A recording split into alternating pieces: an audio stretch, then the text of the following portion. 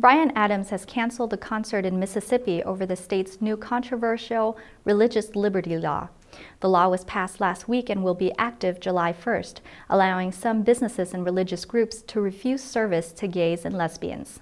Mississippi Governor Phil Bryant signed HB 1523 into law on April 5th amid opposition from equal rights groups and businesses. It is said to offer protection for Christians who adhere to traditional views of marriage and gender roles, and to which Governor Bryant said protects sincerely held religious beliefs and moral convictions. The singer issued a statement saying he could not, in good conscience, perform in the state, and he also added that he found it incomprehensible that LGBT citizens are being discriminated against.